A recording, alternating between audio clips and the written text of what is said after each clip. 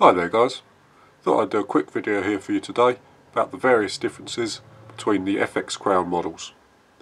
At the top we have the Mark 1, in the middle we have the Compact Crown and at the bottom here we have the brand new Mark II Crown. I have taken the bottles and barrels off. The bottles are the same through all models but the barrels have some slight differences which I'll be going over in another video. For your information, both the Mark 1 and the Mark II came with 500mm long barrels. The Compact came with a 380mm long barrel. So, I'll take these out of the stocks and get you a good look at the blocks. Okay, now that the rifles are outside the stocks, I thought it'd be a good time to talk about the differences between the various blocks. The main differences include the Picatinny rail, which is not present on the Mark I crowns, and the change in the fixing of the barrels between the compact and the Mark 1s. So first of all you see the barrel mounting locations are slightly different between the compact and the Mark II and the Dovetail Mark 1 crowns. The barrel mounting screws are located on the side instead of in the top of the dovetail rail. You can see here the two screws at the front of the block are used to tighten the barrel down in the Mark 1 however on the Mark 2 and the compact crown they are moved to the side. This allows you to change barrels without removing your scope. The Mark 2 and the compact crowns both have the same pick rail however there is a slight difference in the way that is aligned with the rifle.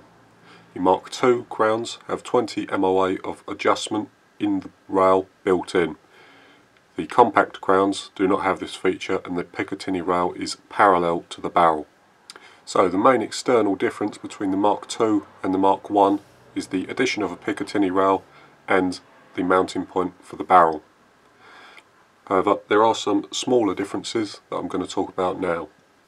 Firstly, it's the changing of the caliber wheel.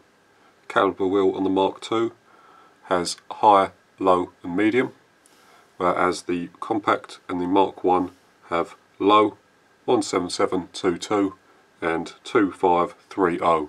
Also another slight difference that is present on both the Mark II and the compact crowns is the black gauges. On the Mark 1 crowns they are fitted with white gauges. I believe the gauges are the same throughout all models except the face colour is slightly different. Another change between the Mark IIs and the Mark Is is the change in the way that the caliber wheel is fitted. On the Mark IIs and the compacts, the caliber wheel is held in by a screw. However, on the Mark Is, it's simply a press-in boss. However, the role of the caliber wheel is still the same between all models. The next change is the change in the regulator body. As you can see here, the Mark II features a new regulator body with a boss on the outside. Both the compact and the Mark 1s use a smooth faced regulator body. I believe the internal reg is the same, it's just the boss that has been changed. The final difference is the change in laser engraving between the models. Each model has its own unique engraving layout and position. I'll give you a close-up now.